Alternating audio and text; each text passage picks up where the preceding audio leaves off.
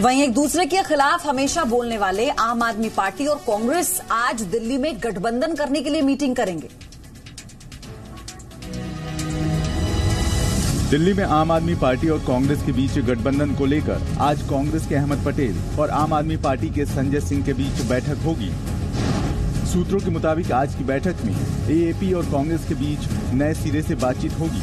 इस बातचीत को कांग्रेस और आम आदमी पार्टी के बीच फाइनल बातचीत माना जा रहा है। बैठक में कांग्रेस की ओर से अहमद पटेल और आम आदमी पार्टी से संजय सिंह हिस्सा लेंगे।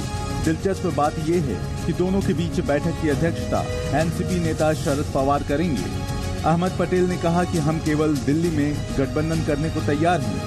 हम आज भी दिल्ली के लिए गठबंधन करने के लिए तैयार हैं और ये बात उन्होंने ही कही थी कि चार सीट वो लड़ेंगे और तीन कांग्रेस पार्टी लड़ेगी, जहाँ तक हरियाणा और पंजाब का सवाल है, हमारा यूनिट बिल्कुल तैयार नहीं है तो इसीलिए अभी भी हम दिल्ली में गठबंधन करने के लिए तैयार हैं। हालाँकि आज के बैठक से पहले कल राहुल गांधी और केजरीवाल में ट्विटर वॉर देखने को मिला। राहुल ने ट्विटर पर जहाँ यू टर्न का आरोप लगाया, वहीं केजरीवाल ने पूछा, कौन सा यू टर्न राहुल गांधी ने ट्वीट किया कि दिल्ली में कांग्रेस और एएपी के बीच गठबंधन का मतलब है, बीजेपी की ज़बरदस्त हार।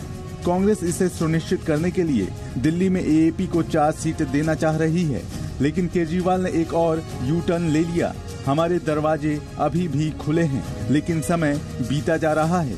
राहुल गांधी के ट्वीट के जवाब में अरविंद केजरीवाल ने भी ट्वीट किया। केजरीवाल ने ट्वीट करके लिखा कि कौन सा यू टर्न अभी तो बातचीत चल रही थी। आपका ट्वीट दिखाता है कि गठबंधन आपकी इच्छा नहीं, मात्र दिखावा है। मुझे दुख है आप बयानबाजी कर रहे हैं आज देश को मोदी शाह के खतरे से बचाना अहम है दुर्भाग्य कि आप यूपी और अन्य राज्यों में भी मोदी विरोधी वोट बांटकर मोदी जी की मदद कर रहे हैं वहीं दिल्ली कांग्रेस प्रभारी पीसी चाको ने कहा कि अगर केजरीवाल तैयार हैं तो एक घंटे में दिल्ली में गठबंधन हो जाएगा We are ready for an alliance in Delhi. We had come to understanding on uh, how to do it in Delhi. So we, if the Kejriwal wants to do it, we can do it in one hour in Delhi. 2014 के चुनाव में दिल्ली में सात सीटों पर BJP ने जीत दर्ज की थी। ऐसे में दिल्ली में खोई ज़मीन को बचाने के लिए आम आदमी पार्टी और कांग्रेस गठबंधन की लगातार कोशिश कर रहे हैं।